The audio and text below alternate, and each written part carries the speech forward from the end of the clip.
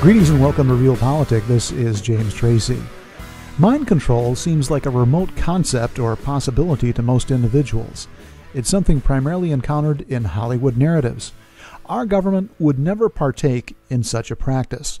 In fact, the very notion of mind control runs counter to our concept of free will and taking responsibility for one's actions. In reality, our government has, over the past 70 years or so, researched and put into practice mind control operations to aid in intelligence gathering during the Cold War. But to what degree has mind control been used in domestic affairs? What roles has it played in, for example, the assassination of Robert Kennedy or the more recent War on Terror? Can mind control be employed to play roles in manufacturing terror events, including so called active shooter incidents and outright assassinations of public figures? Our guest on this episode argues that he was trained as a mind controlled assassin in 2005 by U.S. and Canadian intelligence and military personnel. He's gone through extensive treatment and therapy to survive and recollect his experiences for the broader public. Matthew Pauly has written a book on his ordeal called The Murder of Time Making and Unmasking a Sleeper. Before his involuntary recruitment as a sleeper, he was a successful computer programmer, a profession that has been routinely interrupted over the past several years for reasons we'll examine over the next hour or so. Uh, welcome, Matthew. Greetings, James. I'm glad to be here. Well, I'm uh, happy to have you on the program. You have a, an extremely fascinating story to tell that I think uh, some people, perhaps not as many in this audience, but the broader public might have difficulty comprehending, uh, understanding. Uh, it's really amazing uh, what you've gone through. And if you can take us back, if you will, to November 22nd, you're leaving the library in downtown Toronto. You've been there with uh, a self help group.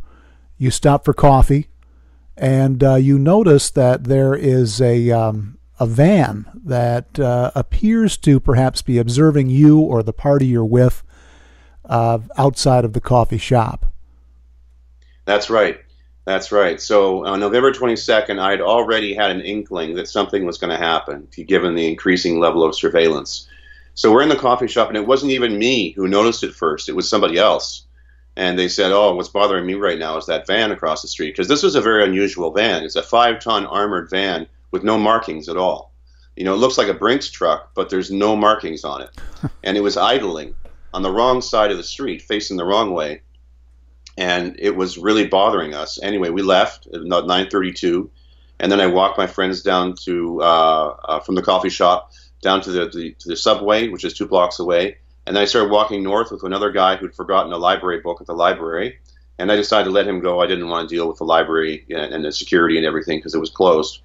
So I just kept walking north, thinking I was going to avoid this van, but I was wrong. Two men, uh, one was about five foot eleven, short blonde hair, blue eyes, slim build, with a slight uh, American accent, uh, and there was another guy beside him, about six foot three, 230 pounds, dark brown, uh, dark black, bushy mustache, and dark black, medium length hair, with a slight Quebecois accent. I later learned, and the uh, the American accented person said, "Are you uh, Matthew Matthew Pauly?" And I said, uh, "Yes." And he said, "Okay, you know, good to meet you. Listen, uh, we just have a few questions for you. Uh, why is it that you we're peace officers, and we just want to know why is it that you have three bottles of hydrogen peroxide in your basement? What are you planning on doing with that?" And so I thought, oh, I better tell him the truth. You know, the truth is that my wife suffers from debilitating migraine headaches, and I'd read that the Central American Indians, because conventional medicine wasn't working for her, Central American Indians have been using a certain uh, fungus or mushroom for a long time, hundreds and hundreds of years, to stop migraine headaches from happening. So I had grown some my, uh, some of these mushrooms, and that's what I was using the hydrogen peroxide for as a disinfectant as part of the growing the fungus process.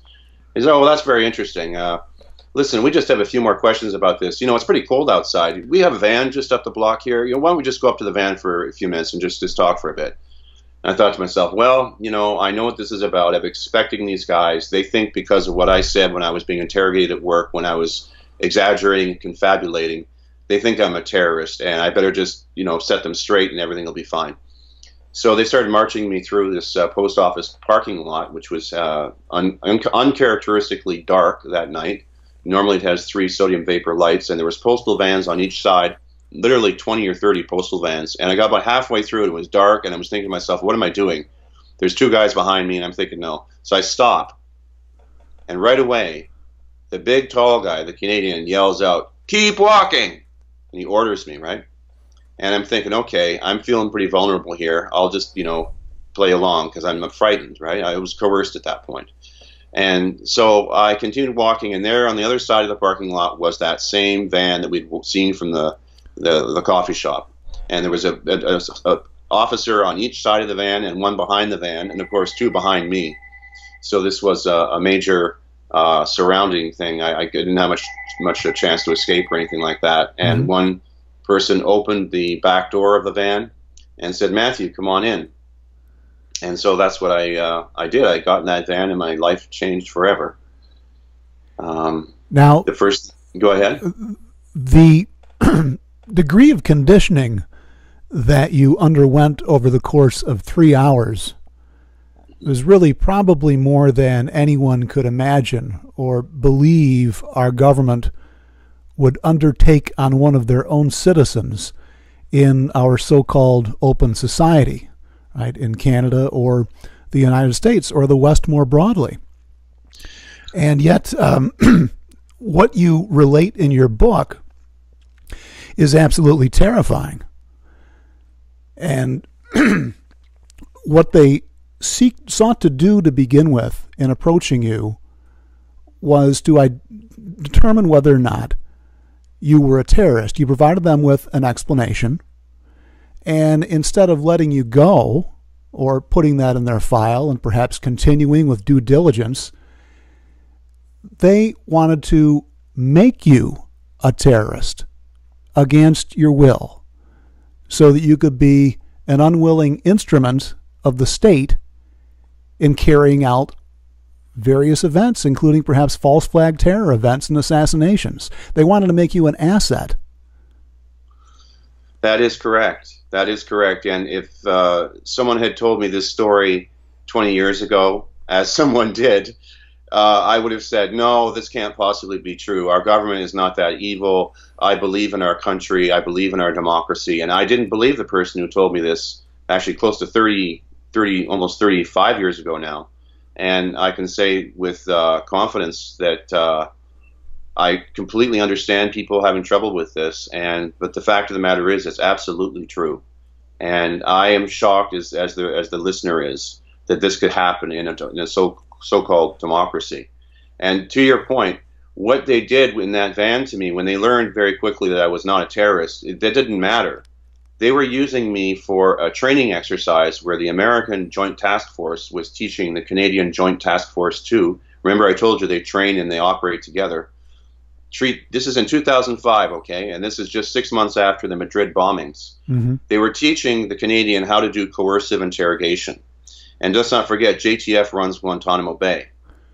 Right. So they were te- teaching the Canadian how to do coercive interrogation, and I was to act the part of an Arab Islamic uh, fundamentalist extremist uh, terrorist. I mean, I, I, I, didn't want to act the part, and, and I, I tried not to act the part, but they kept asking me, "Are you a member of Hezbollah? Are you a member of Hamas? Are you a member of you know all these different organizations?" And treating me as if I was that, and they even started speaking to me in Farsi and also in uh, Arabic. And I mean, I couldn't believe it. Uh, I, I I don't speak those languages. The only reason I know the difference is because in Toronto it's very multicultural, and I've worked in the computer business with both people from Iran and people from other uh, Middle Eastern countries that were Arabic speaking. So I recognized these languages, but I didn't know any of the words. And they were clearly treating me as a test subject for their training exercise. Mm-hmm. And I thought, okay, well, I can comprehend that, and I think most readers can comprehend that, that this is a very terrible thing that they shouldn't be doing, taking innocent civilians and using them as guinea pigs for their training. They should be taking a soldier somewhere and offering him fifty thousand dollars and lifetime um, free medical care uh, and, and, psychiatric care, and then doing this to him, you know, by voluntary, non-consensual stuff is completely against Geneva Conventions. Yeah. But it didn't stop there. This wasn't just a, a teaching how to torture people. I mean, they, by saying torture, let me just be specific. Uh, they actually attached a uh, 100 cc syringe of sodium pentothal on my left inner arm. And they taped it down, and when they pushed it in, it felt like I drank four beers in about 30 seconds. Mm-hmm. And then they put an electroshock cuff on my upper right arm. It felt like a blood pressure cuff, but I could feel wires in it. And there was a long wire going to a remote control that the American officer had. And they also cuffed me down to the torture chair uh, hand hand clasp and leg clasp to it. I had my eyelids taped open. Now all this torture stuff was done. The, the, attaching of all this equipment was done by the RCMP officer. That's the Royal Canadian Mounted Police, our national, you know, symbol that around the world we're so proud of. Yeah. But it turns out the National Security Department of the RCMP operates with impunity, violating civil and human rights and doing this kind of torture. I mean, the guy who taped my eyelids open was so good at it. He did it in about 30 seconds. And when I said, you know, this one eye, it's really, really hurts, it's really distracting. And he said, oh, no problem, I'll fix that. He pulls off the tape, medical tape, puts it right back on, just the right thing in like two seconds. He was really fast. This is a guy who's been taping eyelids for a long, long time. Mm-hmm. And there's been, you know, rumor before about the RCMP using torture, but I can tell you for sure this is an absolute true report of the RCMP using torture. So um, anyway, uh, the torture beyond like when they were doing the interrogation part about the terrorist groups, which I had no idea about, um, they would electrocute me, like they give me a shock if I wouldn't respond fast enough. And that was through the armband. Through the armband, exactly. Uh, and then what happened is when they were finished with their, I'd say half an hour to 45 minutes of, of coercive interrogation, then the Americans started to teach the Canadian uh, no mark torture. So there were several kinds of torture that he was teaching the Canadian, and they demonstrate on me. He'd show how to do it, and the Canadian would do it on me. And uh, this this isn't supposed to happen in, in a democracy. Uh, and then the second part of this thing was the really even more uh, well, as you said, it's almost like too much. It, it, it, but it happened they hypnotized me. What, what happened was I was tortured and tortured and tortured. They kept asking this question over and over. Are, you know, what is your Arabic name? What is your Arabic name? And I'd say uh, Matthew, and they say no. You know, zzz, they give me a, a, shock. Yeah. What is your Arabic name? And I'd say um, Mohash because they had translated Matthew into Arabic for me and told me what it meant. It was Mohash. I said Mohash. Zzz, I get zapped. And then I try not answering the question at all, and I could get zapped. And it wasn't every time I was zapped. I was zapped about one every two or three times. And now the net effect of that on the human mind, when you're being tortured over and over with pain, and you're tantalized with a question as if you may have control to stop it, but that control is ripped away from you mm-hmm. with every response that you, you give, you're going to get a random shock. The mind starts to shut down when you realize you can't control the pain anymore. And your mind naturally starts to shut down and you, you, what happens is called dissociation. Right. And that's where the dom- dominant personality goes to sleep. What's left is a very malleable, childlike presence, about six years old. And you're completely vulnerable, and you're taking everything in high definition. Like, I mean, in my experience, is I can remember the faces, the colors, and the voices, the actual dialogue. As you'll notice, my book has a fair bit of dialogue in it, which has been confirmed by uh, the person who's been working on me as being correct.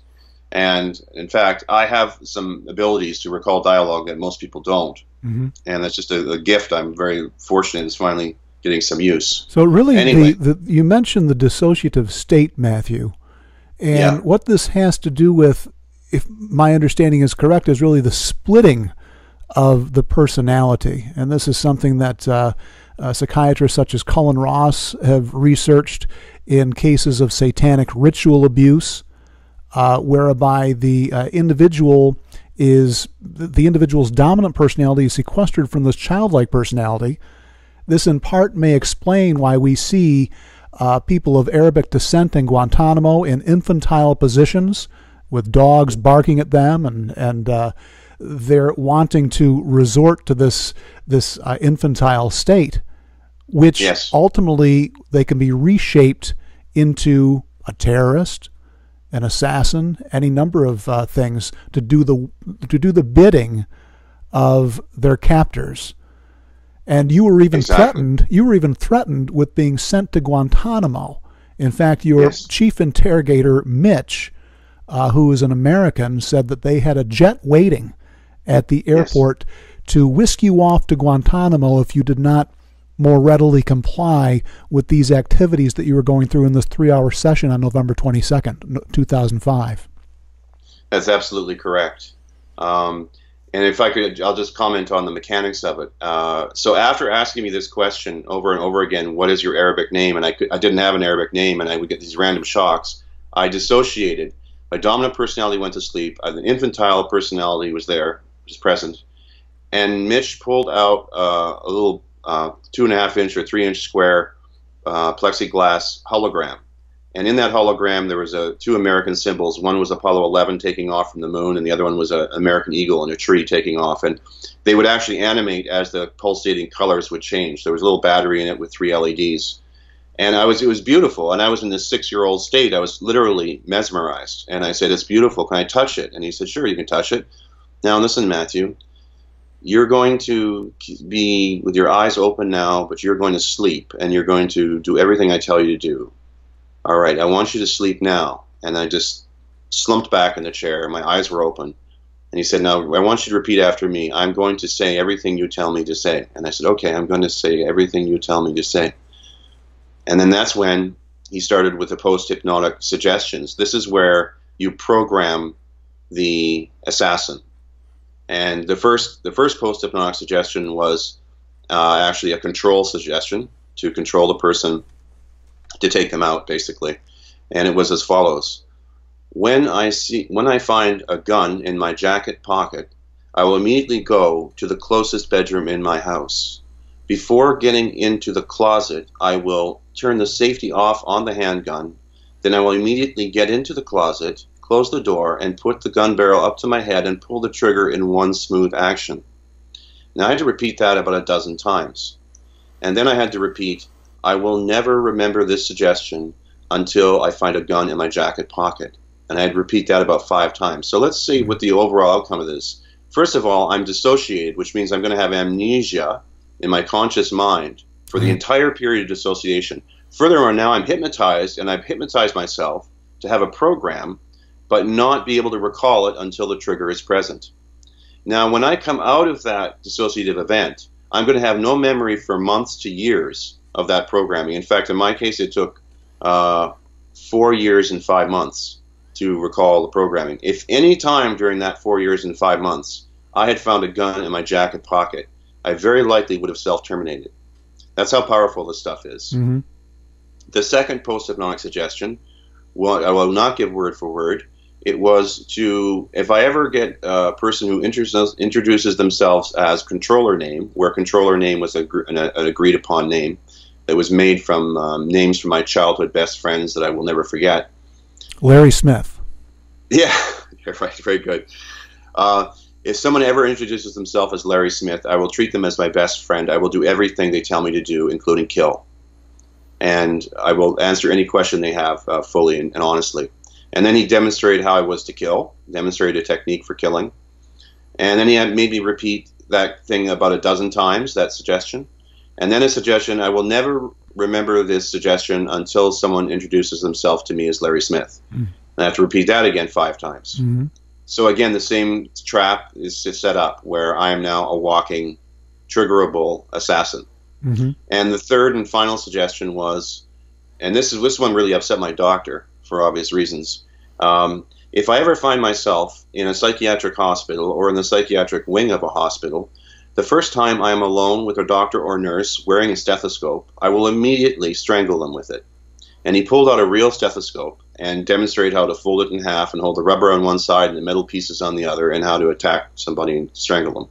And I had to repeat that about uh, a dozen times. And again, of course, I will never remember this program until I'm alone with a doctor or a nurse wearing a stethoscope in a psychi- psychiatric hospital or the psychiatric wing of a hospital. So again, we're erasing conscious memory of it when I eventually recover from the amnesia, which will last years as a result of the dissociation. Mm-hmm. So that, in a nutshell, folks, is why it is not that difficult to do what the, they do when we talk about programming assassins. It's just using conventional, well known techniques of hypnosis with post hypnotic suggestions and torture to get the person dissociated first, because you got to have them dissociated so they'll have no memory of it for many, many months to years following. Now, alongside these components, you also explain how you were, uh, there were elements of your personality or personalities that were crafted, uh, one being alpha, which is the aggressor, and I believe the other being beta, which is right. the individual who is relaxed. And these were incorporated into your psyche through the use of intense terror and intense pleasure. That's correct. That's correct. That, that that, that this was like beyond the pale of, of, of, strangeness, and but it's important. It's important that people understand uh, that it's quite possible to create man-made um, dissociative identity disorder. Um, I don't know that I would technically qualify it or not because it doesn't happen. I don't switch to these alters except in the presence of torture. Uh, so, but the alpha one was, you know, he asked me this question, uh, Matthew, you know, when you were, uh, you know, you had a brother, and I said, yeah. So, does your brother ever get you angry? And I said, yeah. And, well, how do you get you angry? And I said, well, he used to tease me. He said, well, what do you mean? And he said, well, he teased me over and over and over and over. He'd say four eyes or, you know, some other insult like that. And he'd go over and over and over again until I finally got really angry and I lost it. And they said, oh, really? And then that's why I had it now a whole van full of military men, all goading me on and teasing me as I'm, you know, clasped down to a torture chair with my eyelids taped open, and IV phenobarbital, and a shocking cuff. And they're teasing me, and they're teasing me, and they're teasing me. So finally, I just lost it, and I got really angry, and I, you know, I, I, I gave them a mouthful, and I said, you know, you're lucky I'm restrained, or I'd rip your head off. And I was, I said it so angrily, and that's when Mitch said, "That's it. Matthew, that's it. Remember this feeling right now. Remember this feeling. This is alpha. This is your alpha. You remember this feeling. And so what they did was they simply summoned up uh, the, the characteristic part of you that is desirable to develop and then gave it a name. And then the name being the first trigger to bring out that personality. Later on, they layer other triggers on because they want to have safeties. Mm-hmm. And then the beta, as you mentioned, uh, was conditioned through intense pleasure. They actually put a device on my groin and play, had 3D goggles on my eyes and also uh, headphones on, and they played pornography until I was stimulated. And then they proceeded to, Mitch says to me, now and how you feel right now, Matthew, just this very moment, this is beta. I want you to remember this, Matthew. This is beta. And so this is where I really relax, he said, and everything, and you're real sexualized. This is beta. And so that's how they created the two alters, alpha and beta. And they also had visual stimuli, and they were attempting to determine whether or not you were aroused by that. And actually, oh, yeah. one of the interrogators interceded and said, "Wait a minute, we might get in trouble because of this, because of the yeah, fact that we." Is, yeah, go ahead. Yeah, no, no, this is a very good point. No, that's a very good story uh, point in the story to, to relate to people, there was some acts of um, responsibility by the Joint Task Force 2 guy and also the two regular Canadian uh, Army people that were present as driver and navigator.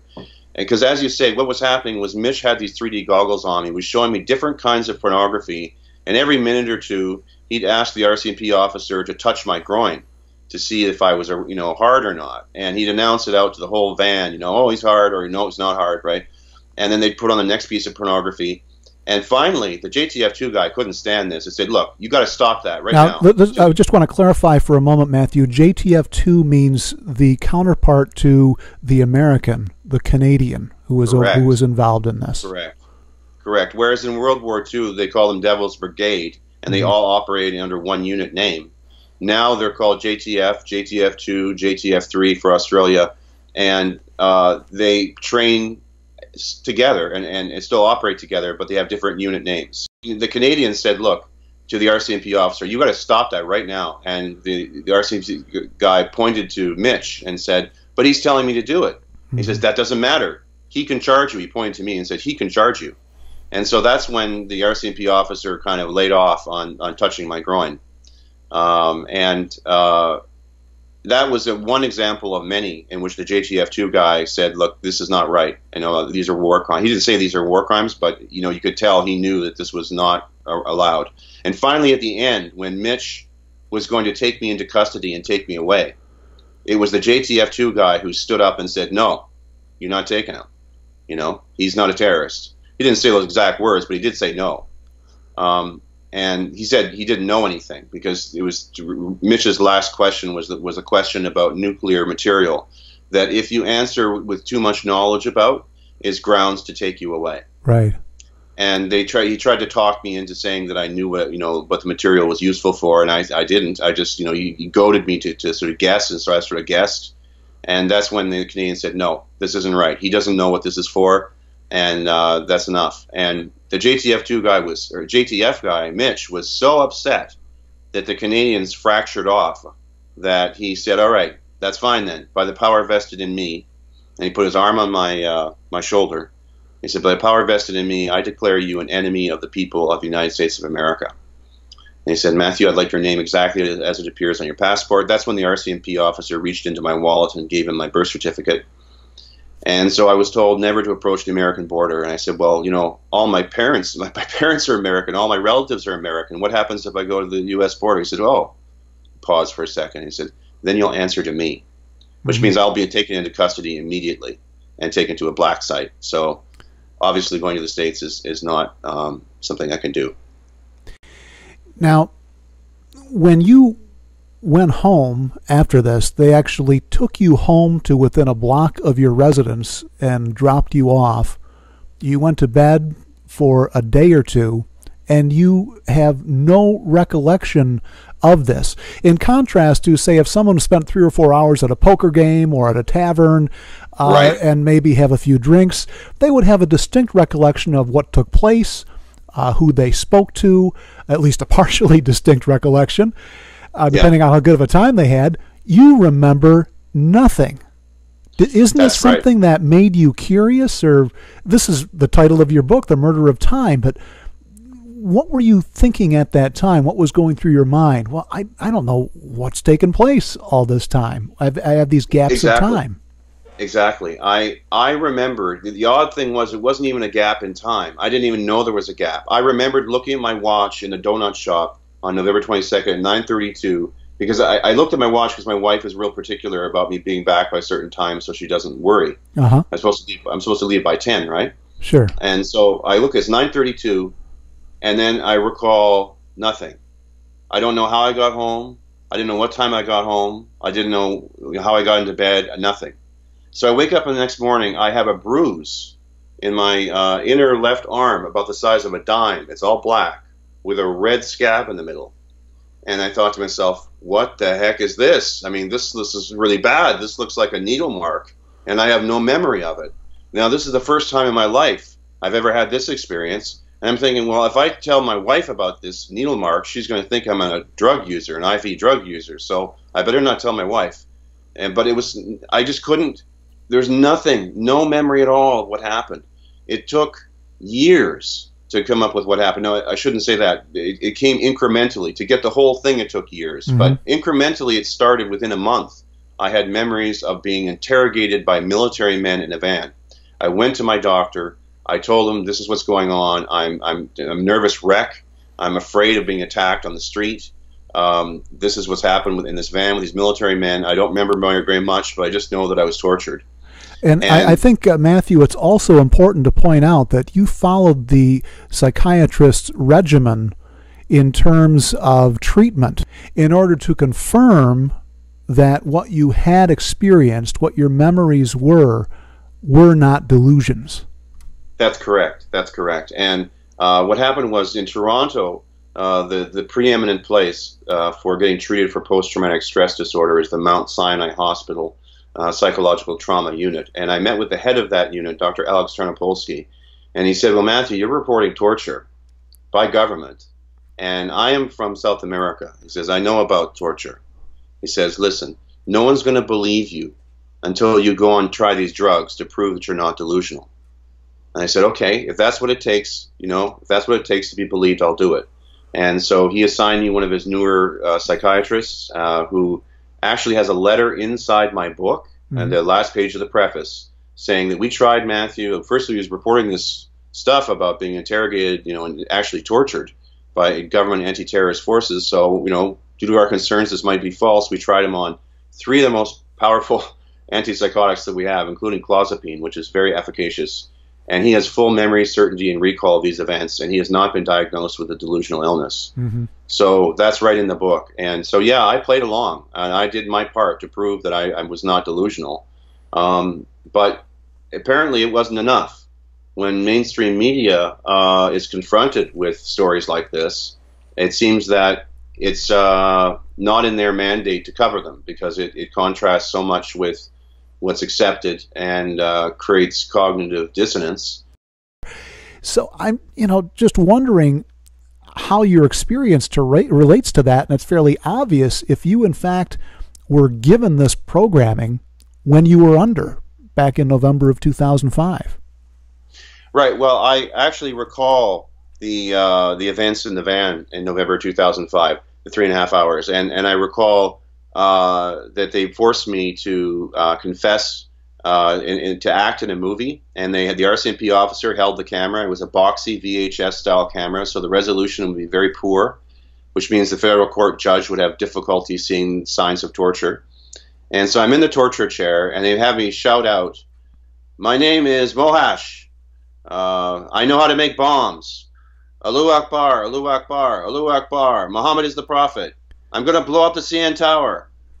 And and that had to be shouted out, and they had to tape it about six or eight times. Because they wanted they wanted me to be foaming at the mouth a little bit and spit spittle flying from my mouth, and I had to be shaking at my restraints, violently shaking at my restraints, so that I would look my eyes showing the whites of my eyes showing, so that the judge would just be terrified of me and would be very willing to sign off on a Section 37 of the Canada Evidence Act, turn the whole thing into a uh, private um, national security trial, and basically no one would hear anything about it ever again.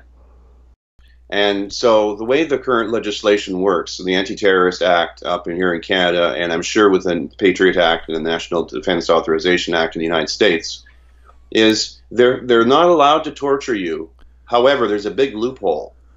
At least here in Canada, I know this for sure. With Section 37 of the Canada Evidence Act, allows them to declare a legal action uh, a national secret. And then at that point, it becomes uh, a kangaroo court, and you can have no media, no one can report on the evidence. If you even report on the evidence, you go to jail, like immediately.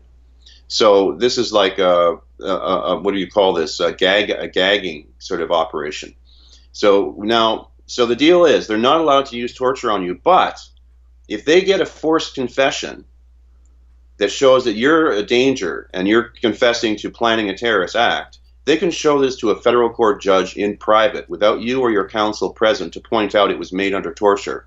Immediately, the federal court judge then signs off on Section 37, which means now the whole thing is a national secret, and you go to court and there's no reporters allowed, no one's allowed to report on the evidence. So, what they've essentially done is create a loophole to allow torture as long as they get a forced confession. Well, it turns out that torture has been used for forced confessions for a millennium. Right, That's its sure. primary use in dictatorships around the world is to force people to confess to be, you know, enemies of the state. Mm-hmm.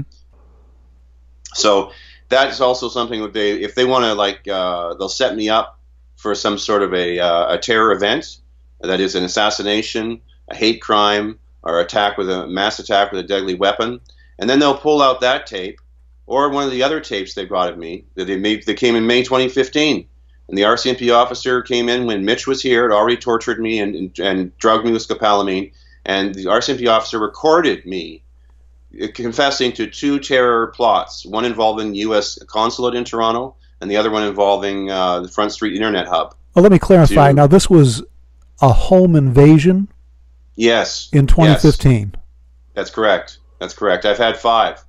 Um, started in uh, January of 2015, and then in May of 2015, and then in October, November 2015, and then in January of uh, 2016 and February of 2016, and abductions off the street in Q3 2007, abductions from a work elevator Q3 2008, and abduction from my house to a Lakeshore area warehouse in January, uh, the home invasion of 2015, or 2016 or 2015, and also I was abducted uh, in public uh, in the Bay. It's called the Hudson's Bay Center. It's the uh, the, the trans one of the transit hubs of Toronto, Yonge and Bloor.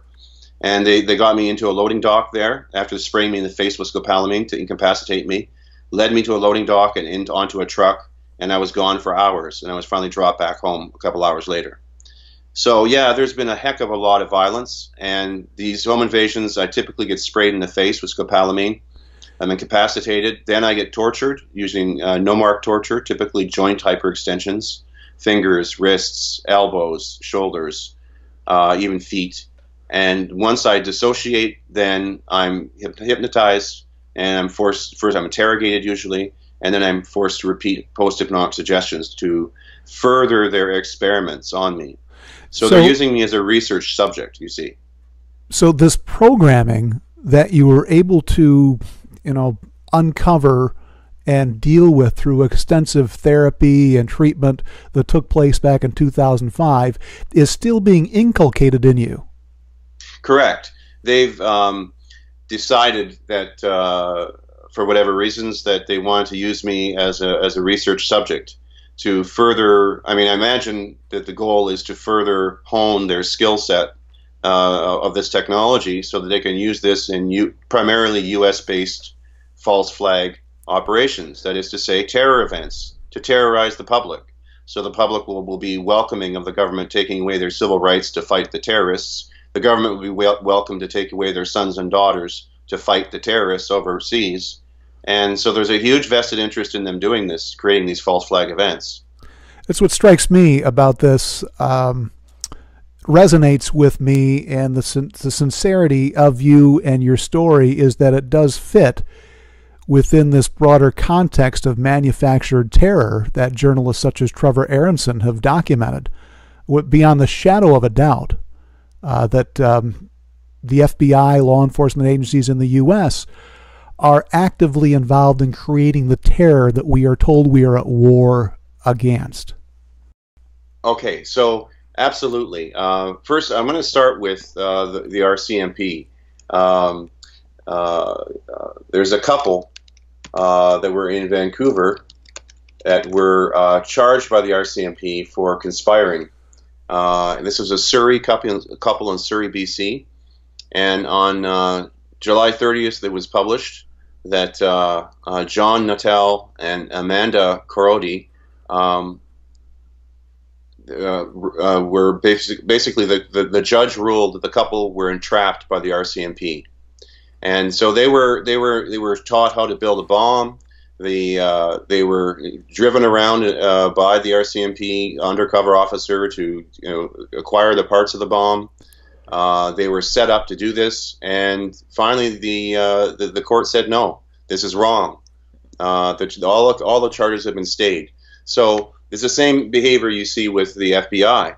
They they take people who are sort of vulnerable, maybe mental health issues, right. and then they, they set them up and they, they tell them, they radicalize them, and they tell them that they should do this, and then they give them the means to do it, and then they set them up, and at the last minute they, they, they charge them. This, and, this, I'm sorry, go ahead. Well, I mean, it begs the question. Well, hold it a sec here. What is in it for them? Why is why are the security services in the United States and Canada doing this activity, this highly illegal thing of setting up these false terror events? Well, there must be something in it for them, right? Hmm. Well, of course there is. The budget since 9 11 on security with the Department of Homeland Security and, and that thing, I think, it, it, you know, it, it's over a trillion dollars now that's been spent. And the, we've seen the same thing in Canada. The RCMP have gotten, you know, billions of dollars to investigate terror. So basically, we have people lining their own pockets by creating the perceived terrorist threat all across the country and, and freaking everybody out and terrifying everybody about terror. And therefore, there's two layers of it. There's the one layer that we see in, in Vancouver and also with the FBI stuff. But then there's the second, more evil layer, which is the intelligence agencies that are like the CIA and like the RCMP National Security Department, who collaborate in taking people, turning them into Manchurian candidates through you know gross amounts of, of drugging and torture and hypnosis and having them carry out actual violent events where people are killed and then you know finding them guilty and then finding uh, the, the, the security services of course don't get charged because the person has no memory for months to years afterwards of what happened. And uh, they get put away for life or killed. And it's just a gross gross uh, a distortion of our criminal justice system and our political security apparatus, and it must stop. I want to ask a question of you that I think probably the layperson out in the audience, perhaps not this particular audience, but uh, more broadly speaking, would want to pose to you after hearing your discussion and your story. And that is why can't you go to law enforcement and seek protection and file a complaint because I think this is what most people would do. They would react in that way. If there's someone suspicious looking in your yard or on your front porch or God forbid in your house, you contact the police. Yeah, absolutely. That's a very good question, and and it's something that I, I it's, it's important for me to point out that in 2015 alone, I had the police at my house four times uh, when I was reporting these uh, home invasions. And each time it would be the same drill. Uh, a bunch of police officers would come into my house and start searching things and start listening to my story and start going, well, you know, this sounds like a bit of a stretch. You know, we don't quite believe this. Or sometimes they would say, okay, we do believe this, but you know what? You need to get cameras, hidden cameras. You need to get evidence. See, the police can only operate on evidence. Mm-hmm and they're out of their element. It's really not the job of municipal policing to investigate intelligence agency covert actions. Because, I mean, the person who's operating on me is a lieutenant colonel in the special forces, the U.S. military joint task force. Who you He's are on way, a, and you're on a first name basis with this person. Yeah, Mitch. That's his alias. His real name is Michael. Mm-hmm. But anyway, and, and by the way, this is not. Uh, I mean, this might sound outrageous, but this is this is going back to the Second World War. You know, Dr. Men- Joseph Mengele. Uh, what he would do is he'd uh, torture and and uh, uh, traumatize young Jewish twin children, and then try and do mind control experiments using hypnosis on them. And once they got too injured, he would graduate them to lethal weapons tests, which were usually in that time medical tests where they do horrific, gruesome things, in the, which ended in, in the death of these children, or just shoot them in the head. And so we saw this in the 50s and the 60s uh, as well, when the U.S. government and was doing a lot of tests on military people and even civilians. And when people would start to become injured over time and start to know too much and a risk of being a whistleblower or demanding compensation, they would graduated to lethal weapons tests. These are chemical, uh, radiological, and biological weapons tests and this is part of MK Ultra. Has always been a part of MK Ultra, and they st- started doing this to me in 2014, uh, June 4th of 2014. Uh, they tested a non-lethal weapon. It was scopolamine aerosol fog, which had just been invented by NASA uh, the previous year in 2013. Now you brought up uh, scopolamine a short while ago, and for yeah. those who might not be familiar with that you know, it fits right into this narrative that you're laying out in terms of mind control, but uh, it does not require the degree of conditioning that you've gone through and continue to go through. Scopolamine is something that could be deployed in a very brief instance and can it's render actually, someone without a will. It's actually very, very frightening right now because since NASA, in their wisdom, decided to develop an aerosol form of the world's most dangerous drug, all it takes now is a little bottle the size of uh, three or four inches high, an inch and a half wide, can fit in your pocket, and you can get sprayed in the face, and it only takes a three second blast, and you're completely incapacitated. So let's talk about this for a second. What is this drug that completely incapacitates you, and why have you never heard of it before? well, it's a date rape drug, and it, it's actually used for date rape. It's also got a few minor medical uses and it's from the tropane alkaloid family of plants. And this is uh, of drugs, but from a plant. And so this is the deadly nightshade family of plants. Now, most people have heard the deadly nightshade family of plants. These things are so deadly that the difference between the effective dose for mind control and the lethal dose is like 50%. So it's very dangerous to use this stuff on somebody. You can kill them quite mm-hmm. easy. And I've almost actually been killed with it. I had to be given the antidote once because I was overdosed on it by Mitch. Uh, so this drug is uh, so bad that the one of the world experts on it is Dr. Camilo Uribe, and that's from the San Jose University uh, Medical Center in um, Bogota, Colombia. And this is in a Toronto Star article, by the way. And accordingly, he said that if I give you this drug, I can give you a gun, tell you to go shoot somebody, and you will do it. And he's not exaggerating.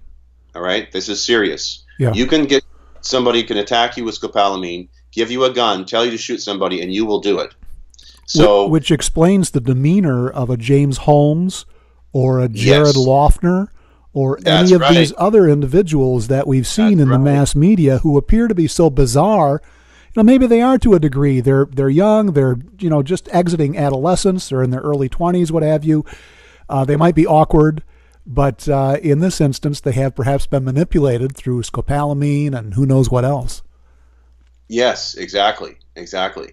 Um, in uh, the presentation I did at University of Toronto, um, I talked a lot about scopolamine and, and talked a lot about its effects and tried to educate people because um, most people don't even know it exists. And the question is, why is it that we never get the results of any testing of these false flags? Okay, we won't call them false flags for those who are new to this, but all the mass shootings in the United States, the hate crimes, the black on white, the white on black, the violence that gets played over and over in the media, why is it that we never hear the results of toxicology tests for date rape drugs like scopolamine? The answer because they're not doing those tests. Because if they did those tests, it would show that these people are, are intoxicated on scopolamine. Mm-hmm. And a perfect example in uh, just uh, in 2014, we had a major terror event here in Toronto, actually in, in Ottawa, which is our capital city, and we had somebody who uh, showed up at the tomb of the unknown soldier, which was right outside Parliament, and shoot the person guarding the tomb, uh, ki- killed him dead, then commandeered a car with their long gun, and then proceeded to drive up the hill, you know, just five minutes or less, and they got out of the Parliament buildings. This is surrounded by the RCMP and protected by the RCMP, by the way. Mm-hmm. And they walked right into the Parliament with their long gun held down. Now, there's so many problems with this First of all, why are they holding their long gun down when they're when they're terrorists entering the Parliament building where they're probably going to be shot? Well, I know why. It's because scopolamine makes you have heavy limbs and heavy arms, heavy legs, right? And so that's why he had trouble holding up his gun. Second, there's a cell phone confession just before he did this, five minutes before, purportedly they say it was from five minutes before, and he does this cell phone confession of being uh, supporting the jihadi cause and he's rambling through this thing the same way that I rambled through my forced confession in the van in 2005. He's stumbling over his words, he's going so fast. And I know why. Because when they make you repeat these forced confessions, you have to memorize the whole thing in your head. You're not allowed to read it. So you you have to go fast so you won't forget in your head. You're, you're running along in your head a little bit faster, and you're trying to keep up with the recitation of it in your head. So you end up stumbling on your words and going really fast. Just exactly what his cell phone confession was. Mm-hmm. Number two, in his cell phone confession, his eyes are super dilated, really, really dilated, which is a sign of scopolamine impairment.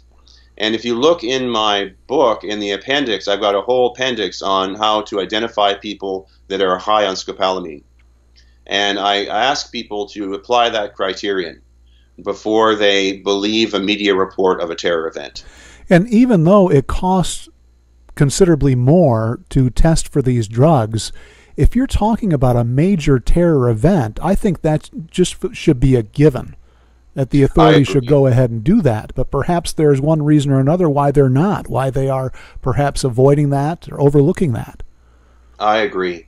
And I actually started a petition and I put it on my timeline on Facebook uh, asking people to sign it, uh, in which I write to all the major world reader, sorry, world leaders of United States, Canada, Australia, and the United Kingdom, demanding that all these people be tested. and demanding that we change our laws to stop this horrible corruption of our democracies.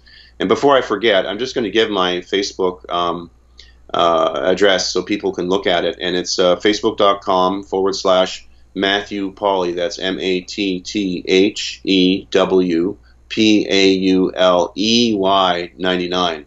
Uh, normally in my book, of course, it's there's no E Y, it's just Y. But mm-hmm. for Facebook, that was already taken, so I had to put an E in there. Again, that's Matthew M A T T H E W dot Pauley P A U L E Y 99, and I'm welcoming everybody to contact me there too.